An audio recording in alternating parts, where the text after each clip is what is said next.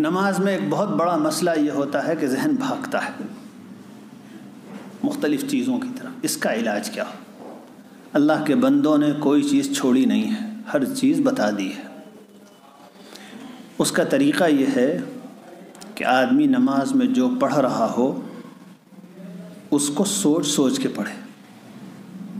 मसलन, अब मैं पढ़ रहा हूँ अल्हम्दुलिल्लाहि अब मैं पढ़ रहा हूँ, रब्बिल आलमीन। जिस तरीक़े से जिसको कच्चा याद होता है तो सोच सोच के पढ़ता है। उस तरह जो पढ़े, वो सोचे, अब मैं ये पढ़ रहा हूँ, अब मैं सुबहान रब्बी अला कह रहा हूँ, अब मैं सुबहान रब्बी अज़ीम कह रहा हूँ। उसकी तरफ़ ध्यान रहे। और एक बहुत अच्छी बात, अल्लाह ताला बड़े रहीम हैं, बड़े करीम हैं। हम अपनी तरफ़ से जहन को हाजिर रखने, नमाज़ की तरफ़ मुतवजह रखने और अल्लाह की तरफ़ मुतवजह रखने की कोशिश करें, फिर भी जहन गायब हो जाए तो कोई नुकसान की बात नहीं। हम कोशिश करें, गायब हो जाए, कोई बात नहीं, फिर बुला लाइए उसको। फिर भाग जाए, फिर बुला लाइए फिर भाग जाए, फिर बुला लाइए हमारी कोशिश जारी रहे, बस इतना काफ़ी है। इससे ज़्यादा के न हमको, इससे ज़्यादा का हमें हुक्म भी नहीं दिया गया है। हम, हमें इसका हुक्म नहीं दिया गया है कि लाजमन जहन हाजिर ही रहे। हमें इसका हुक्म दिया गया है कि तुम कोशिश करो कि जहन हाजिर रहे। फ़र्क समझ रहे हम कोशिश करें, बस काम हो गया। इस पर ही सब कुछ मिल जाएगा। हाजिर है, नहीं हाजिर है, इसके चक्कर में नहीं पड़ना है। अगर इसके चक्कर में पड़ेगा आदमी तो नुकसान में रहेगा। इसलिए इस चक्कर में तो ना पड़े कि मेरा जहन बहुत गायब रहता है। बस हमें इसकी कोशिश करनी है, मेरा जहन हाजिर रहे, नमाज़ की तरफ़ मुतवज रहे, जो पढ़ता हूँ उसकी तरफ़ मुतवज रहे। बस इतना इन अल्लाह काफ़ी है। हाँ एक चीज़ है, दो चीज़ें बल्कि। एक चीज़ ये कि बाज़ अल्लाह के बहुत बहुत गहरा इल्म रखने वाले उलमा ने लिखा है कि नमाज़ में जहन का इधर उधर भागना इस बात की अलामत है कि दिल में दुनिया की मोहब्बत ज़्यादा है। ये दुनिया की मोहब्बत की अलामत है जहन भागना। इसलिए भाई इस मरज़ की भी फ़िक्र करो। अपने ये समझो, ये समझना चाहिए हमें कि हमारी दुनिया की मोहब्बत ज़्यादा है असल में। आखिरत की जो मोहब्बत होनी चाहिए, जो फ़िक्र होनी चाहिए, वो वो वो कम है, वरना ये हाल ना होता। ये बीमा, इस बीमारी की जड़ यहाँ पर है। नमाज़ में जहन गायब रहने की जड़ दुनिया की मोहब्बत है। इसको ठीक करने से इन वो ठीक होगा।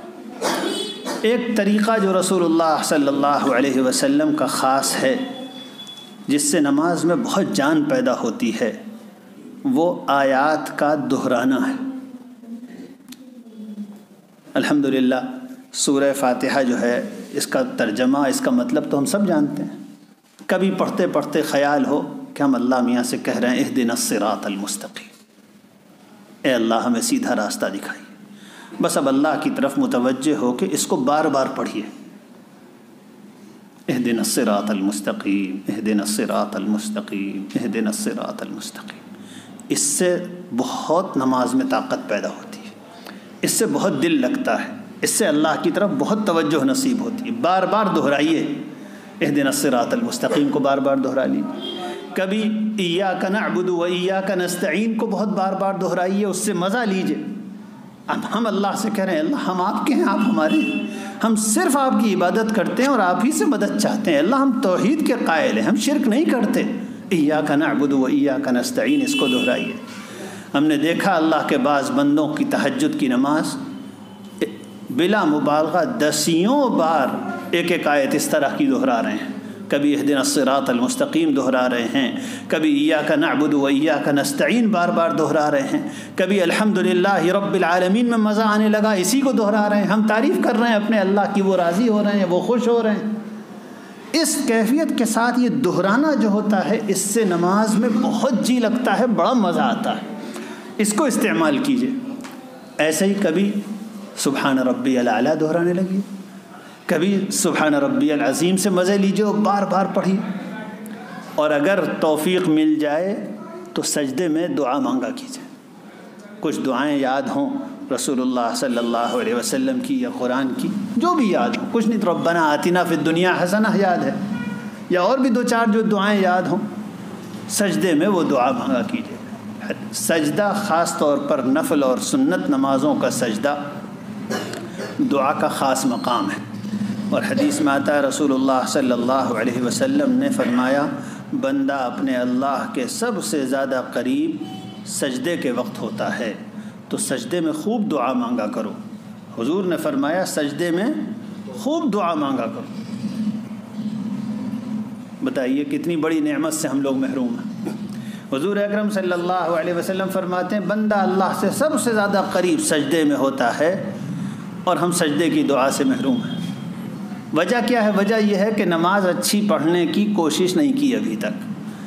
अब हम सब भाई, सब बहन, कहने वाला भी, सुनने वाले भी ये इरादा करें, अल्लाह से मांगें। हम अच्छी नमाज़ पढ़ने की कोशिश करेंगे। अल्लाह सुबहानहु व ताली से मांगेंगे, अल्लाह अच्छी नमाज़ नसीब फरमाइए और अल्लाह सुबहानहु व ताली इन नमाज़ के ज़रिए और सब्र और हिम्मत के ज़रिए हमारी मदद फरमाएगा। अल्लाह ताला मुझे भी नसीब फरमाए, आप हजरात को भी नसीब फरमाए। बड़ी दौलत है नमाज़, बड़ी दौलत है। सबसे ऊँची दौलत दीन की नमाज़ है। अच्छी जिसको नसीब हो जाए, उसको बहुत बड़ी दौलत नसीब हो गई। अल्लाह ताला मुझे और आप सबको नसीब फरमाए। सुबह मैं दीन लूँगा, मैं दीन लूँगा, न लूँगा मैं दीन हारे दुनिया।